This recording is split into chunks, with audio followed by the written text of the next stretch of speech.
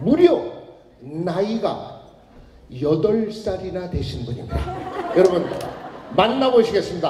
홍자먼 어린이입니다. 박수로 사주십시오.